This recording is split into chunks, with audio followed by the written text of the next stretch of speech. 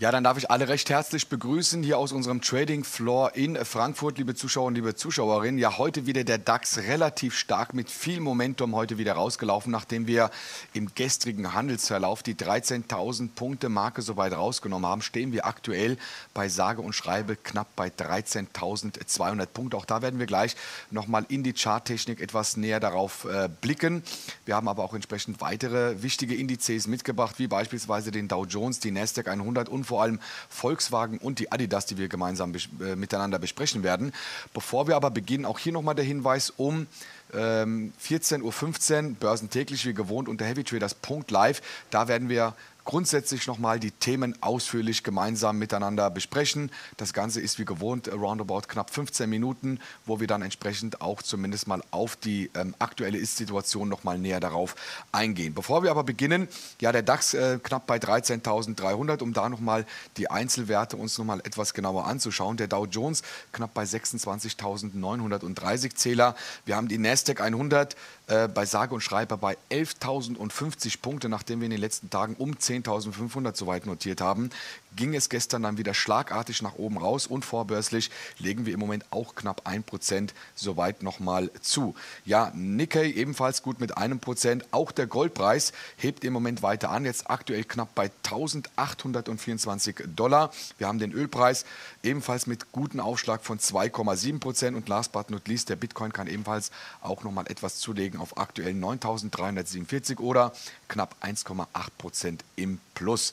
Ja, was waren jetzt so die ausschlagenden Themen? Ganz klar, es geht also hier um den Euro-Gipfel, um die Rettungspakete, um Liquidität, die jetzt hier nochmal stärker sozusagen in die einzelnen Länder fließen soll, um die gesamte EU weiterhin wirtschaftlich zu stimulieren, damit entsprechend auch gegen Corona weiterhin angekämpft werden kann. Das scheint im Moment die Börse relativ positiv aufgenommen zu haben und blickt entsprechend dann auch darauf folgend in den nächsten sechs bis zwölf Monaten wahrscheinlich das Ganze dann auch weiterhin zu stabilisieren und entsprechend auch hier die ähm, Wirtschaftsschwäche oder den Rücklauf, den wir da im Moment sehen, mehr und mehr und stärker denn je auch weiterhin anzufachen. Aber lass uns da am besten mal einen äh, Blick in den DAX werfen.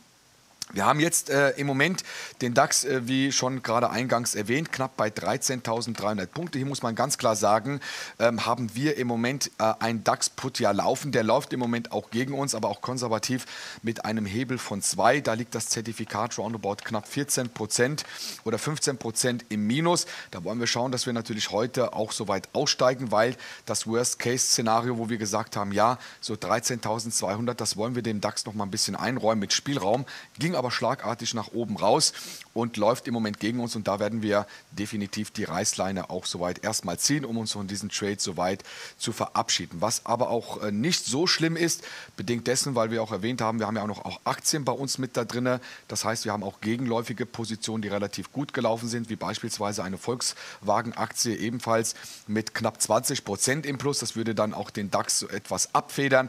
Komme ich aber auch gleich nochmal etwas näher darauf ähm, nochmal zu sprechen. Blicken wir mal auf den Dow Jones.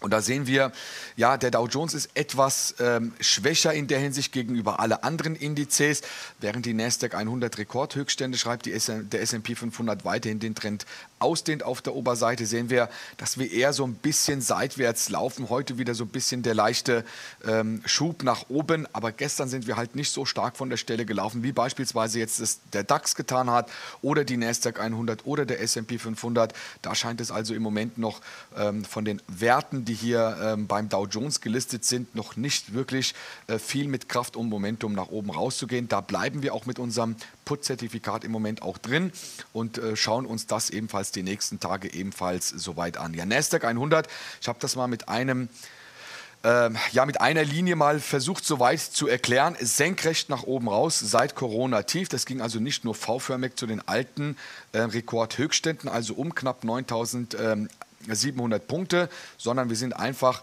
ja oben raus, kurz mal zurückgesetzt und von da aus schnurstracks nach oben raus. Und ja, wir befinden uns jetzt im Moment, das ist schon ziemlich äh, beeindruckend, knapp bei 11.040 Zähler. Also das Hoch war ja heute knapp bei 11.060. Wir haben das, glaube ich, marginal mit einem Punkt, mit einem neuen Rekordhoch soweit bestätigt. So, die Volkswagen, das ist nämlich genau das Thema.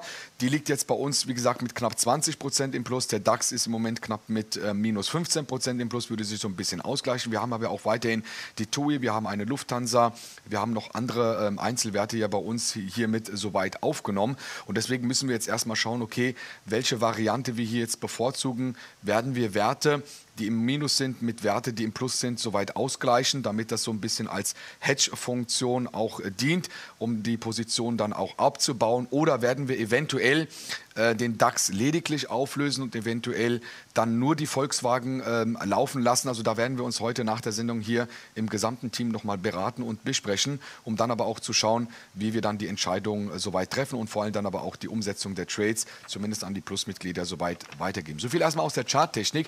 Deswegen ähm, kurz und knapp, schaltet auf jeden Fall rein. 14.15 Uhr, da werden wir nochmal alles aufgreifen, schauen, wie sich die Märkte entwickeln sie jetzt im Moment weiter nach oben laufen, ist es nicht so schlimm. Wir haben noch Einzelwerte dem gegenüber, die im Moment auch dann stärker äh, performen. Alles weitere besprechen wir 14.15 Uhr äh, und da sehen wir uns dann in unserem Livestream unter heavytraders.live. In diesem Sinne, bis gleich.